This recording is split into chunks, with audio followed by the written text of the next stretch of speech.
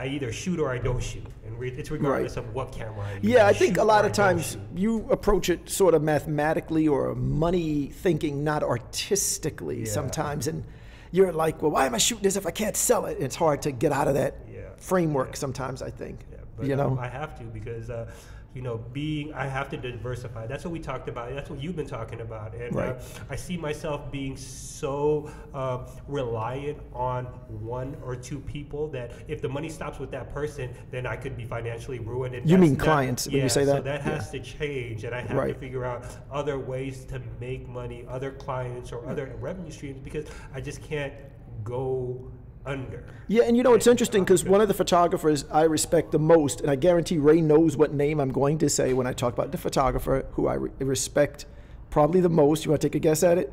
I know it's I know who it is. It's Cowart. Absolutely, Jeremy Cowart. And it was interesting because I heard him speaking not too long ago. Um, I forget what the topic, what, what the, the platform was, but he was talking and he talked about how, and this is a guy who I respect his work tremendously, the, what he creates photographically, and the clients he gets, the TV work and the celebrity work and the music industry work he gets. And he was trying to say he has 10 streams of income. 10 different ways that he makes money and he feels that that's what photographers need to be doing in 2014 and that had an impact on me because it's someone i really respect who's saying it someone who's succeeding as a photographer who's saying selling photographs is only one of my streams of income. I have multiple streams of income so i thought that was interesting. And for me i have a couple at least like i teach this jiu-jitsu class uh, twice a week at a private school on the upper east side and that provides income for me. So my income is not 100% photo based now it's teaching jiu-jitsu and selling photographs and the occasional rental of the studio, you know, to But people I like Sean think his, tomorrow. His ten, his ten uh, revenue streams are all photography based. not really. related. They're related. sort of. They're not like teaching jujitsu, but it would, might be teaching a workshop, developing an Yeah, app. They're in the same world, but they're. It's still different than years ago They're when all about him being a photographer. So what what were his ten? He didn't name them all. But I Well, think what do you think they are? I would think again. I would think there's some from teaching workshops, selling DVDs. Um, Licensing images, no, that would still be the selling photos, but I think of some of it would be like similarly hire photo related. for hire. He probably has a website.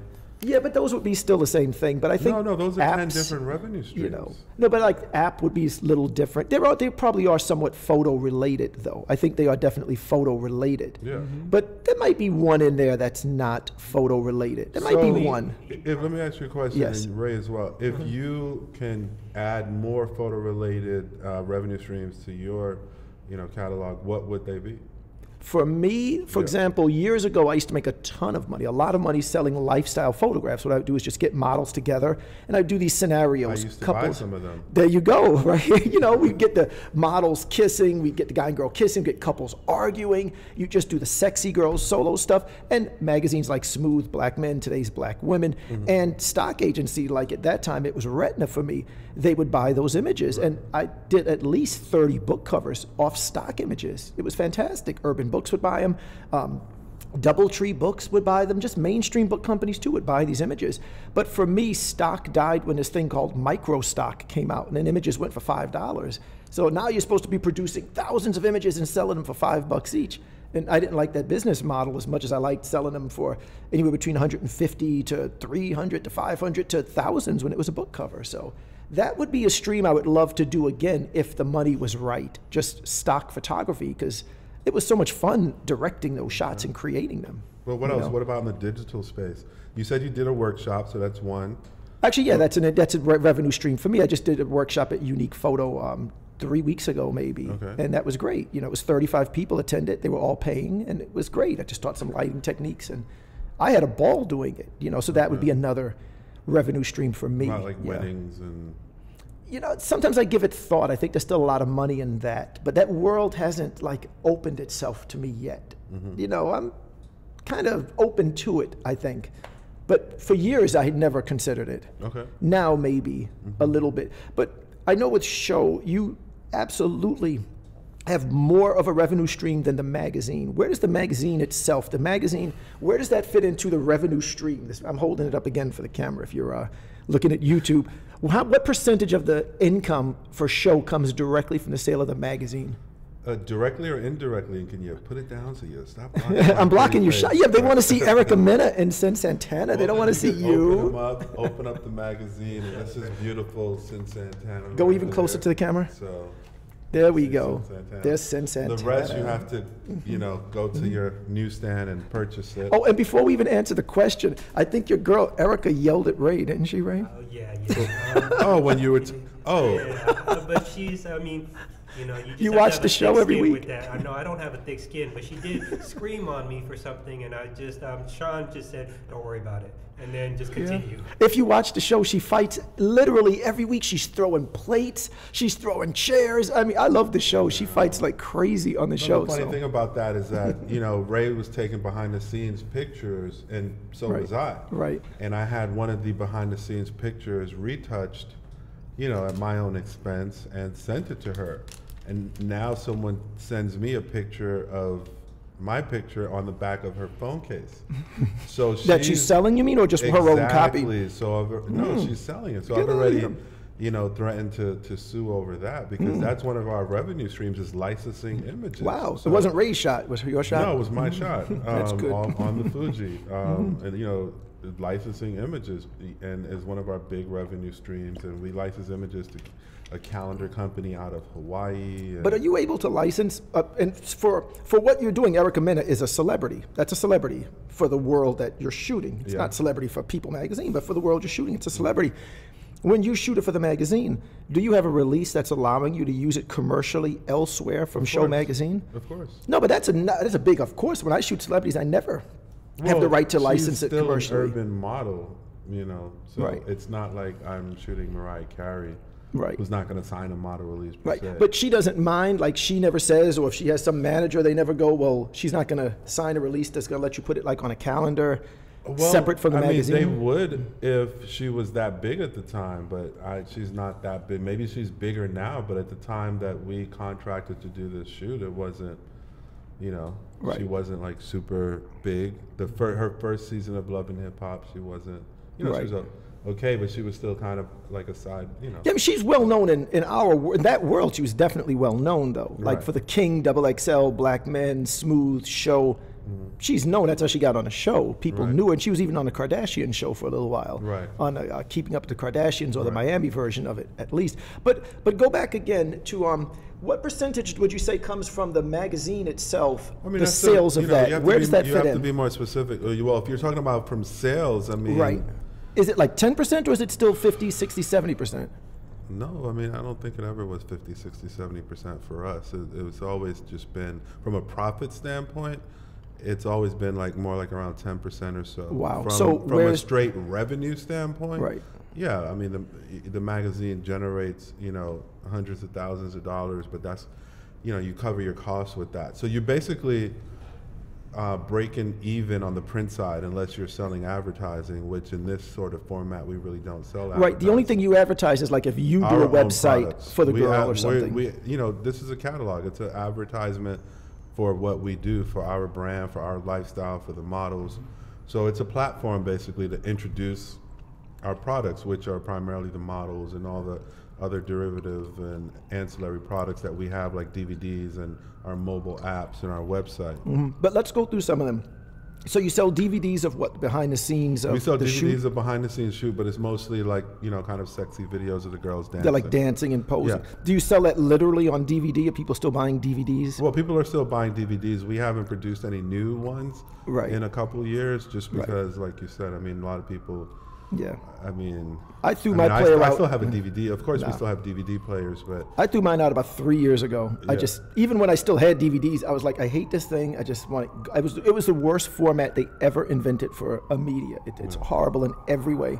so most of our, glad to get our videos are probably viewed more now on our website, Right. YouTube, etc. Right, but in terms of revenue streams, we've got DVDs. We've got a, a website that I mean, they we pay. have we have eight, probably eight revenue streams right But, now. but let's run through them. There's the there's a website because I saw you had some special Well, on like I'll, I'll Instagram. Run, I'll run through them. Yeah, we let's go have, through 'em. Uh, what we call single copy sales, which is the newsstand actually Mm-hmm. purchasing the magazine on the newsstand. Right. That's one. The Mm-hmm. second one, and this is pretty typical for most magazines, at least like four or five of them. Mm-hmm. The second one is going to be um, subscriptions. So those are people who are subscribing to the magazine. Right. Um, six copies for twenty-four dollars or 12 Mm-hmm. copies for forty-four dollars. Right. Um, then we have merchandise. Now, merchandise are going to be back issues, Mm-hmm. calendars, DVDs, and what other whatever other merchandise we're selling. We used to sell T-shirts at some point. Right. So that's uh, what four, right? Mm-hmm. So number five would be mobile.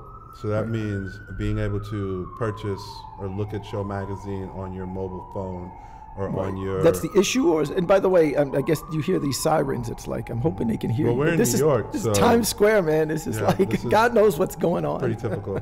But go on. So what happens have- when you buy it for the phone? What are you getting? The magazine or individual pictures? Well, you can download the magazine if you um, you know buy it from the Zinio app, um, but you can also just get individual pictures or individual videos. Right. Which used to be a, a really big revenue source for us when we were on the iTunes store. Um, you know, even just uh, other. There used to be a lot more companies out there. You remember Jamster? We had like right. a deal with right. Jamster. But did something happen with that? Did that like well, the change business- for some reason? Yeah, it's called the App Store. Right. it's changed. Number one, Apple kicked out all the sexy publications Oh, out of, boy. out of off of iTunes and out of the App Store. Right. But the App Store also crushed Jamster and all those other sort of things. Maybe they're bigger in other Right. countries. So you can still download pictures or Yeah. of showgirls in Europe and stuff Right. like that. Remember but when for the- Steve Jobs said that the iPhone was freedom, and he said it's freedom from all these things. He said freedom from pornography. so he was very anti like pornography and, And, yeah. anti sexy. And they still are. Yeah, yeah, They he- still are. yeah. So that kind of cut down on mobile, but we still Right. have some mobile properties out Right. there. Right. What else? The other streams of income. Okay, What so else? after mobile, then you have internet based revenue stream, which is Right. Mm-hmm. going to be our website, Right. Showgirls Exclusive. We have six websites, showgirlsexclusive.com being the biggest one, and that's a Right. subscription based model. Right. Um, you can also go to zinio.com and download Show Magazine, so that counts under internet. Right. And then also with uh, if you have a PS3 or a PSP, Right. you can download a screensaver. So that's Right. internet. What does that cost? Like a screensaver? You know what? I, it's probably like a dollar ninety nine or something like bad. that. I really don't know Yeah. what it is. But they can I, add I up. don't have a It's just- PS3, Yeah. But we're also going to be on Roku and um, Right. I don't know about Apple TV, but we be Yeah, yeah, they may be as like- well, yeah. Mm-hmm. where you can download a show magazine themed screensaver. Right. So that's, cool. internet. So if you're Right. counting, I believe we're up to what like six right That's now. a lot. Yeah. So yeah. that's Keep going. So number seven is our new um, fashion blog that we're starting, Right. which is called Showgirls TV, and it's going to be a fashion Okay. and lifestyle blog. We should do something at um Fashion Week. I shot a whole bunch Yeah, of I would love videos hire- at shows. I would love yeah. to get more lifestyle footage and stuff like that from from both of you guys. Yeah. We're not really dealing with like celebrities, other than Yeah. if they are urban celebrities. Right. No, we did some part, stuff. I did some stuff for Hype Hair where we like had a mod, had a, a host, and we did video interviews with the nail companies. Um, these Mm-hmm. I forgot the name of it. God, that's so bad. but we followed these nail people, and then we showed how they did the nails, and we interviewed the nail technician and showed them actually painting the nails backstage at the show. Okay. And I, I'm gonna send you a link. It was great. good stuff. Yeah, send me yeah. a link if you yeah, have, it was nice stuff. If you have yeah. more stuff like that that's fashion, beauty, lifestyle, fitness, travel oriented, Yeah. you know, we'd love to have that. Yeah, that could be of- cool. We're going to aggregate a lot of this content, and it's basically about you know what these models do with their clothes on. You know, it's Right. kind of like okay, It's the opposite of show. yeah, shooting, you know, doing photo shoots is actually like maybe two to five percent of, of what they do. Right. But they're doing a lot of stuff. They're hosting Yeah. parties. They're traveling internationally. Yeah. They're working out. And they're writing on They're, Instagram the they're other doing 98% of the time. You know, they're doing cookbooks and they're doing a lot of different things. So that's number seven. Number eight is um, our agency. We're starting. Well, we have an agency called Show Talent Management, and you know Right. through LA Casting. So that's uh, we're booking models all the time to um, to host host uh, parties Right. and host events. What's the price range from the low end of a girl to a high end that they get? And what do they do if they host a party? What does that mean? I mean, hosting a party primarily. It used to be you you got you promoted the event Like on your Twitter and stuff? Yeah, Twitter or your Right. MySpace. I'm saying used Right. to be. You got to the event. You actually got up on stage with the DJ and you talked on the mic and Right. you did a whole. You know, you brought people up on stage and you actually signed your calendar or your right. magazine. now this sounds to me this sounds to me the way it should be. So however you say it changed, it better be Yeah, changed for the better because that sounded no, really good to now me. Now it's you provide an image for a flyer, and that's Right. ninety percent of it. I need Yeah. a sexy image for the flyer. Right. Five. The other five percent of it is you promote the event. And the other five percent is you show up with five of your hot girls and you stand on the back of the banquette. Yeah. You don't interact with anyone, mind you. Yeah. You just stand up so everyone can see you.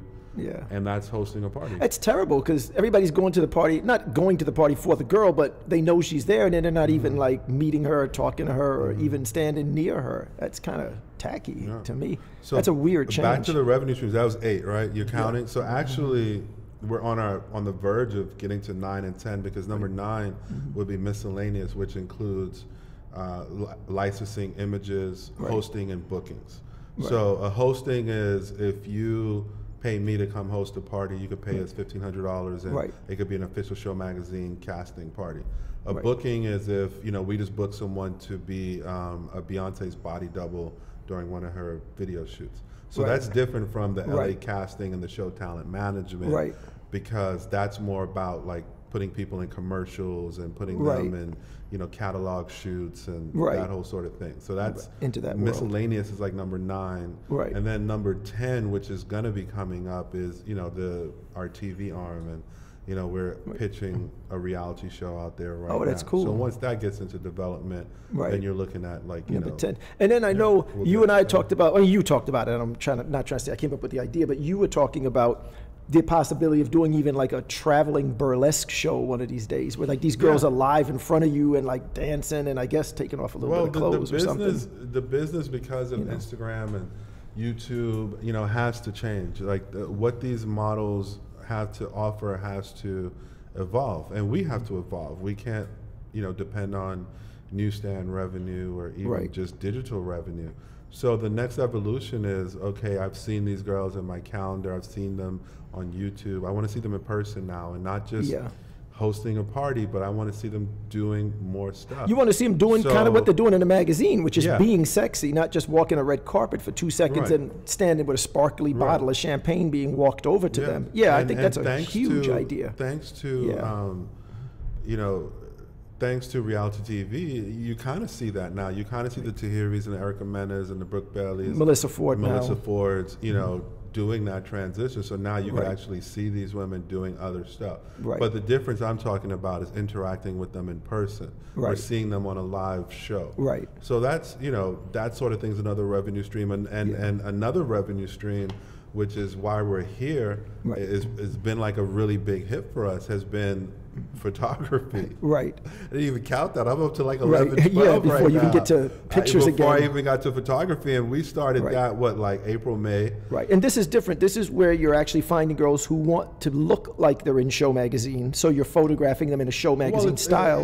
uh, that and it's finding girls who want to be models, who want to be in show Right. magazine. And you're charging So, them to be photographed. Yeah. So, or, or you could just book a shoot. You know, Right. we've had, like I said, people book maternity shoots and people book lifestyle shoots and fashion. But that's shoots. weird. Like, would you look at the show magazine, you know, like, would you look at the show magazine photography and go, I want them to do my uh, wedding, not wedding, would you say maternity pictures? Like, I wouldn't I've think that's a match, though. pictures. I mean, I'm sure you They could as a don't- they- person. they I'm not putting baby strange. oil on the on the mothers On the so- babies? right? So it's not looking the same, but it's it's well lit. Right. You know, it's definitely well lit. You know, we're putting eight lights on them. Right. So you know their hair is lit, and you have the side lights, and you have the light from Right. down below, and you know you have the Right. three lights in front of them. You know the octa, the umbrella, and the small octa. Right. So yeah, it's it's beautifully lit, and but you know the retouching is a little different, obviously. Yeah, not as We're high we're not gloss trying or to make them, you know. yeah. you know, so we're not focusing on you know cutting in a waist or doing anything like that. It's Right. Not as high gloss, but the photography rev- revenue stream has, has been tremendous. Right. But the, what's happened is the business model has changed. Right. Yeah, I think that's fascinating. And it goes back to what we were saying earlier. We talk about some other photographer going, well, I've got 10 streams of income. I think that's interesting. And for me personally, that's not something that was really on my mind five years ago because just selling pictures was fine. I was making a ton of money just selling photographs and taking assignment jobs, and that's it. But I think it is something to, you know, sort of just keep in mind, you know, the idea of just different revenue streams. And I think you guys do a really good job of that, of really monetizing beyond just a print magazine. It's Right. interesting Yeah, that I know you that, do um, that.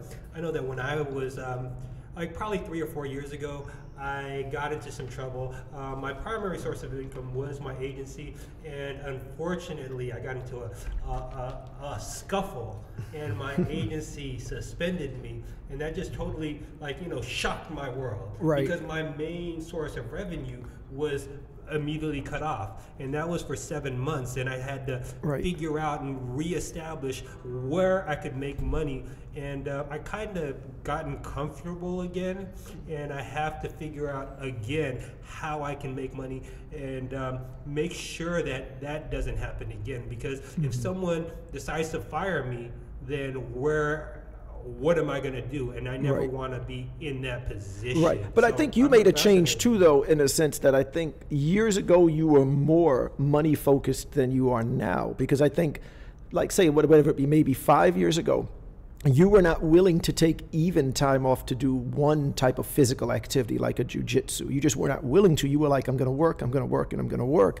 And I'm not sure what the change was. Maybe it was losing that source of income and you realizing that it wasn't that important to be making that much money. And I think you, I'm guessing, tell me if I'm wrong, you decide to take a bit of a pay cut, but devote some time to jujitsu, devote some time to hiking, devote some time to yoga. All of those things affect your income, but I personally think you're better off that way, being more well rounded and not just money focused, but being focused on personal development yeah, I is mean, huge. I think personal development is, very important, and that's definitely something that I was um, lacking. But it, I think that the primary reason was the economy change. I mean, like in 2008, everyone was like was Mm-hmm. complaining and crying, and uh, me included. So my lifestyle had to change. Um, like I was making significantly less money, and I've realized that I don't necessarily need to make the same amount of money to be happy. I just have to be more focused. I have to understand what makes me happy. It's Right. not the money. Right. It's the it's having purpose. And I love listening to other people like Sean. Uh, listening to Sean and having 11 revenue streams, I'm like, Yeah. I got to get my game up. Right, it makes your head spin, right. up. Yeah, yeah, Because you're I like- can't get yeah. caught out there again. Right, that is crazy. But, But, in, in my own in my own way. Right. So Right.